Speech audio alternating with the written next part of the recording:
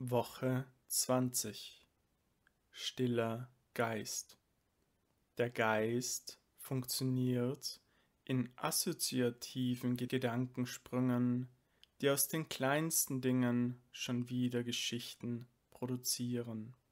Im Zen sagt man, ein rotes Kissen steht nicht für Leidenschaft und eine Maus, die rein und raus rennt, symbolisiert nicht den diskursiven Geist. Ein rotes Kissen ist ein rotes Kissen und eine unruhige kleine Maus ist einfach eine unruhige kleine Maus.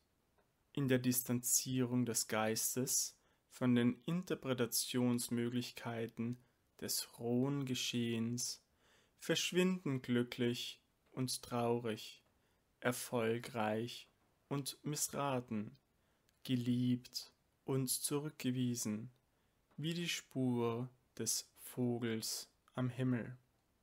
Die Annahme der gegebenen Umstände, wie sie sind, schenkt einem augenblicklichen Frieden.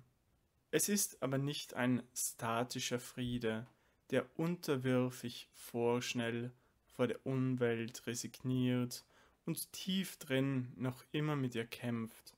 Es ist ein kreativer Friede, welcher aus einer tiefen inneren Stille heraus das Unrecht nicht toleriert, aber sich nicht von ihm besetzen lässt.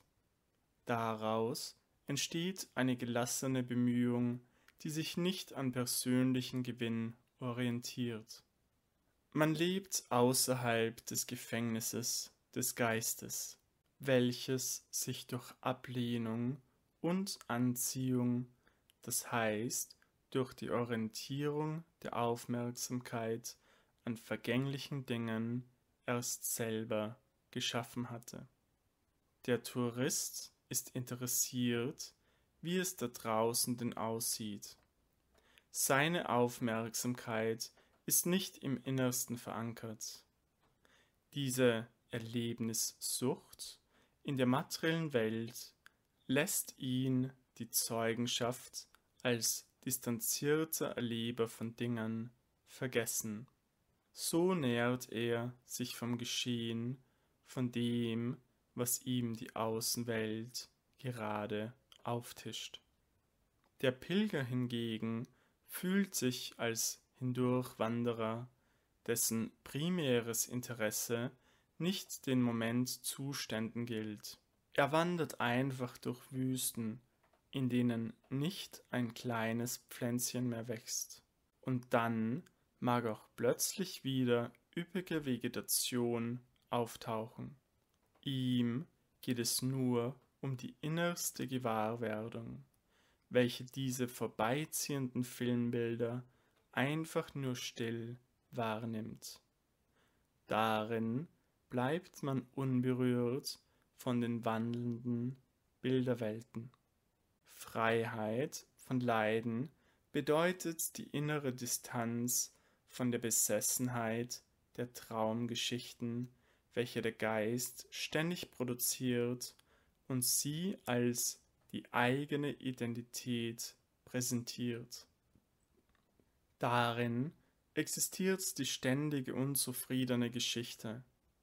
Eigentlich ist es nur ein eingeschränktes Selbstgefühl.